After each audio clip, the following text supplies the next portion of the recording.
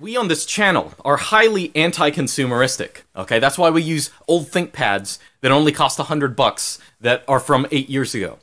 But I want to talk about some other things. Like uh, one one of my viewpoints, I did a video on this a, a while ago, is that whenever you are spending money on any kind of purchase that isn't like basic living, like food, you have to make sure that you are spending money on saving money. Okay, very simple heuristic. Like everything you buy, are you, you got to think, is this going to save me money? If I'm spending a dollar, I want to be able to save two dollars in the future, or at least two dollars, maybe a whole lot more. Okay, so let me talk now. I do this video because we are now living in that yearly period of golden opportunity, at least for Americans, because you know we're li- Black Friday is coming. Now, Black Friday is a consumerist holiday, so when everything's cheap, people who don't have any kind of uh, uh, impulse control go out and buy a whole bunch of stuff. But it is also a good time of the year for people like us because things are cheap.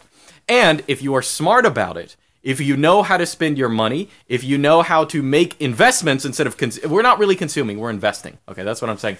Um, if you know what kind of things that can make your life easier or can make you know make it cost less, now is a golden opportunity for you. Now, let me give you the example of what I did last year. Okay, if you've been around, if you saw my video on that, you might know. Okay, here's the deal.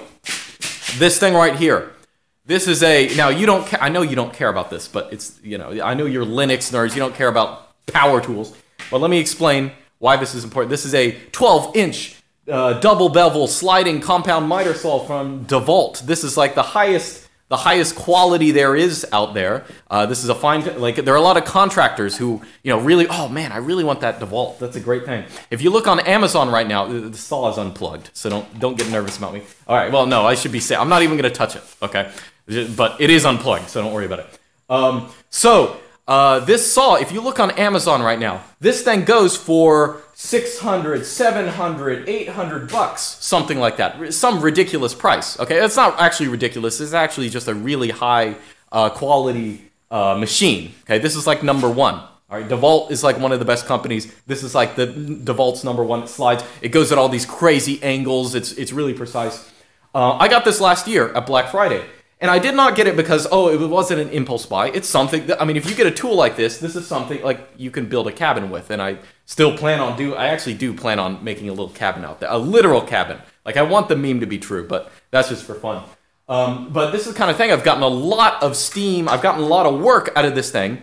It's say I don't know if it saved me 600, 700, 800 dollars yet, but it saved me a good bit. But here's the deal. I did not get this for 600, 700, 800 dollars. Okay? And in fact, I also same thing with the stand. Okay? That usually costs like 70, 100, maybe even 200 some places. Okay? I did not pay that money for that. That's ridiculous. Okay? You know how much I paid for this saw and the stand together? I paid 200 bucks. How did I how did I work that out? Very easy. Okay? Two things. First off, I waited all year. I waited months and months to get to Black Friday. At Black Friday, this thing not only had been marked down to $400, but this stand, you, you get the stand for free if you buy it. You know, this thing with all the perks, okay, if you buy the, the number, top of the line thing, you get the stand too, okay? So that already, fantastic deal, okay? And that's the kind of thing you get at Black Friday. But even more than that, I doubled that up. I doubled that up with something else. Now, something I did a video on uh, a month or so ago credit cards. Credit cards in America they are they know that they can make a lot of money on stupid people okay? They know that if they put off introductory offers uh, they put out these introductory offers that are literally steals. That is they will say open a card with us. If you spend 500 bucks in the first 3 months we will give you $200 uh, as a credit or you can redeem as as cashback or something like that. We'll give you $200 okay?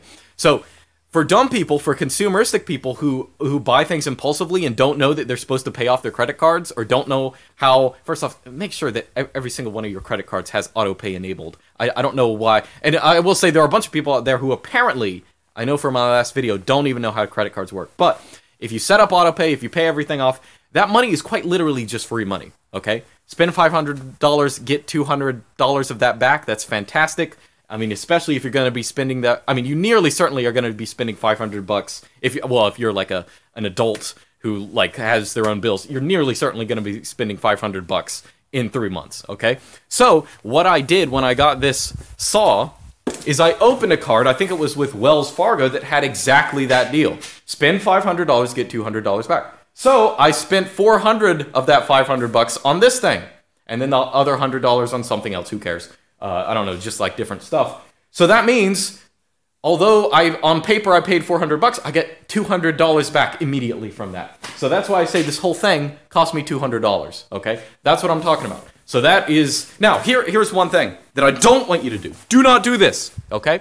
A lot of you guys are going to be like, "Wow, that's really cool. You can use these credit card introductory offers and get basically just get free money." Okay, that is true. In fact, I do that. I've done it uh, in the past 12 months. I've done it for three credit cards, and next year I'm going to be doing it for three more. I already have it all planned out. But do not just do that because you can do it. Don't just be like, "Oh, I got to find stuff to buy with this stuff." No, that's what they want you to do. Oh, actually, really, they want you to go into crippling debt or something like that because you don't know how to pay off a credit card. Again, just enable autopay. Okay.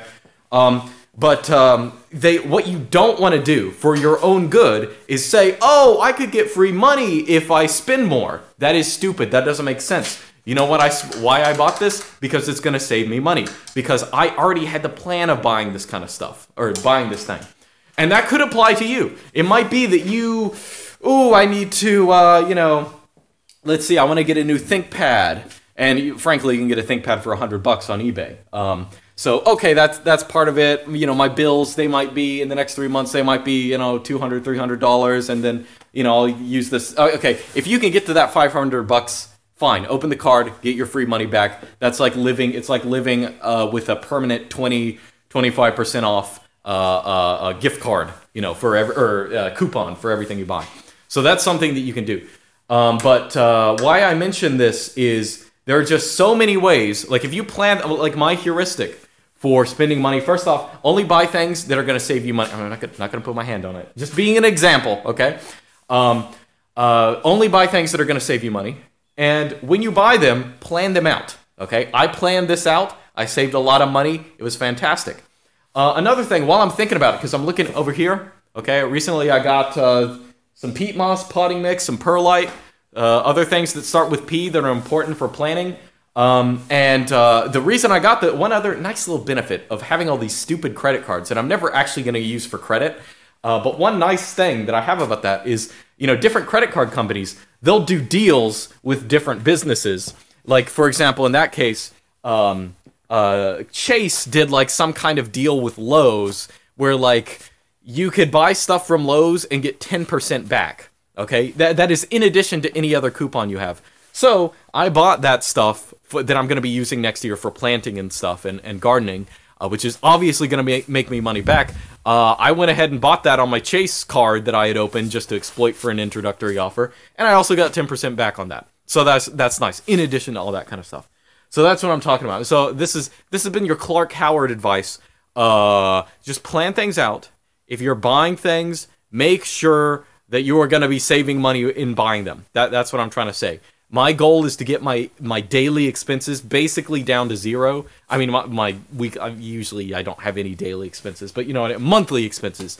We'll say that that's my goal, uh, and I, am actually getting there. I'm actually getting um, uh, like at this point in time. In addition, even even stuff like uh, food, like uh, things you know, meat. I don't have you know, I have no way of growing meat. I don't have animals out here.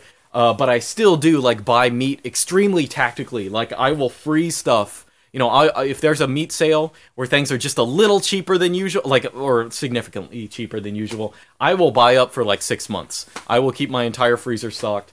Um, I have not. I probably. I think I'm gonna buy some chicken breasts soon. But I, other than that, I have not bought meat in like two months, just because I have so much of it in my freezer that I've just been defrosting. Defrosting things can be a big pain, but uh, uh, yeah, it's it's definitely worth it. Worth it still. Um, so anyway, there's my advice. Don't don't take this autistic thing that people do where they say, "Oh, well, I want to be anti-consumeristic, so I'm just not going to buy things, or I'm just not going to think about how I'm going to buy things, or I'm not going to optimize things. I'm not going to have credit cards. I'm not going to do any of this stuff." No, all of this stuff that is there to exploit stupid people can be exploited by people who know what they're doing. Okay, that's my message. All right, see you next time.